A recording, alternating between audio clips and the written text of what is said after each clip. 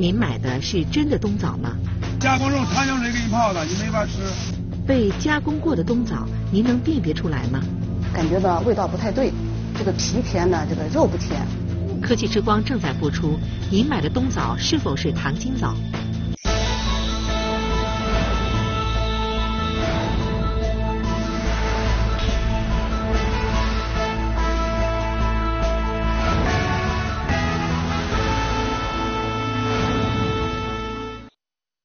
每年的十一月和十二月是冬枣上市的季节，因其味道甘甜爽口、鲜脆多汁，一上市便受到了大家的哄抢。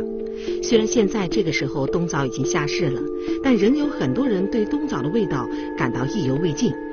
家住北京朝阳区的杨阿姨平日里很喜欢吃鲜枣，在冬枣上市的时节，杨阿姨几乎每天都会去水果市场买枣。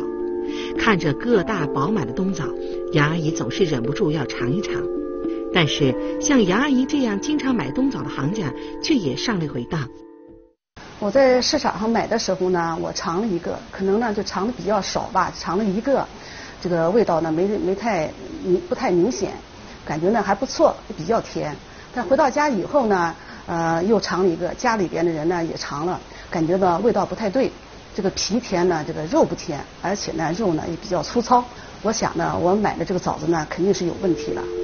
杨阿姨和家人吃了几颗就放在那里了，结果第二天，杨阿姨发现装枣的碗边飞来很多小虫子。仔细一看，昨天买的枣有的已经开始腐烂了。来，花花，我们吃枣子喽。来，奶奶给你吃个枣子。花花，哎呦，这个不能吃哦，坏掉喽。哎呀，怎么都坏掉了呢？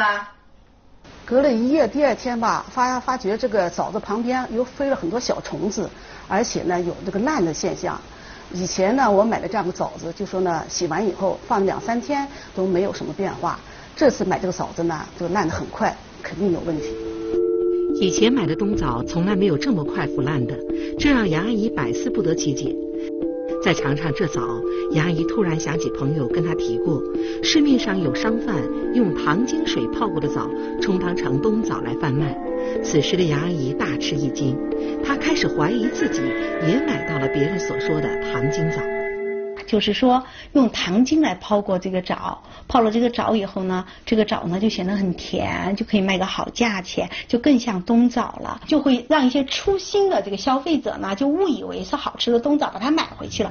传说中的糖精枣真的存在吗？我们的记者暗访了北京市某果蔬市场。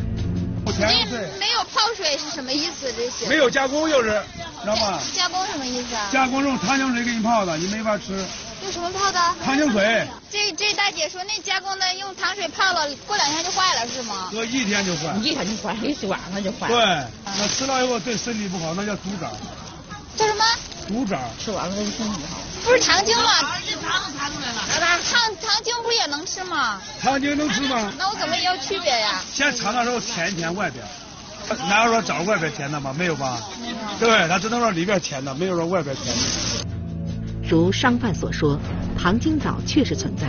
我们都知道，正常的冬枣即使保存时间长一些，也只会在表皮上出现一些褶皱，不会烂掉。为什么杨阿姨买的枣会这么快的腐烂呢？呃，这个储存很多东西，就这些东西出来了以后嘛，通常都是要比较干爽的场情情情景下才能够放比较长的天数。如果说刚才咱们用热水用热水来泡过的这个枣，它这个这个枣呢，除了刚才说的那几个特征，还甚至有可能这水会进去嘛，进去了之后，这个皮儿，这个枣的这个皮儿和这个枣的里面啊，还会有一个缝隙，像这个水进去了，呃，这个微生物也进去了。它的这个腐烂的这个历程就加快了。看来杨阿姨购买的冬枣的确很可能是泡过糖精的枣。其实消费者想要避免买到糖精枣，并不是件难事儿，只要细心的观察，多多注意，便可分辨出哪些是泡过糖精的枣了。首先，第一点，我们看那个这个这个冬枣哈，呃，冬枣是皮儿特别的薄，而且吃起来是很脆，是化渣的。热的糖精水泡出来的这个模里冬枣哈，嗯，可以怎么样一眼看出来？正常的这个冬枣呢，它的这个颜色呢是。呃呃红和青、红和绿之间它是有过渡色的，不会有明显的一个界限。但是呢，在这个热的这个糖精水里面泡的这个枣呢，因为这个枣它是会浮起来的，它就会有一根线，泡到的地方呢它就是红的，没泡到的地方是青的，而且那个界限非常清晰，像刀切的一样。第二点，你拿舌头去舔，正常的这个冬枣。是不可能舔出这个糖味儿来的。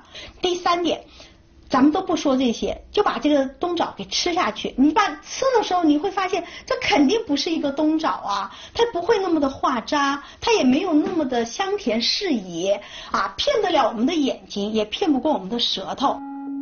枣的种类很多，但冬枣却被大家尤为青睐，这完全得益于它的口感和风味儿。但如果买到假冬枣，则会在口感上大打折扣。那么，好的冬枣是什么样的呢？还有冬枣，它有些特征。冬枣的这个表皮是非常的光滑的，冬枣的上下。基本上都是一样的，齐齐的，它椭圆的，很很很齐的。比如说像马牙枣啊这些，它就是啊，比如上面比较尖呐，下面比较粗啊，它的这个还表皮啊没有那么光滑呀，等等。还有这个皮儿啊，呃，有那些其他的那种枣呢，它的皮儿要厚一些啊，冬枣要要薄一些啊。还有里面的化渣的程度呢，这个冬枣呢比它们明显的啊都会强很多。我们日常吃水果，不仅仅是为了满足口感，更重要的是汲取水果中的营养成分。众所周知，水果中的维生素含量极其丰富，冬枣也不例外。它的维生素含量也相当可观。冬枣的这个维生素 C 的含量是很高的。通常我们说它高不高，就就去和苹果去对比啊。但是呢，比如说呃猕猴桃也会很高啊。第三代的这种水果，它都会。呃，含量比较高，像蓝莓啊这些，它也都含量很高。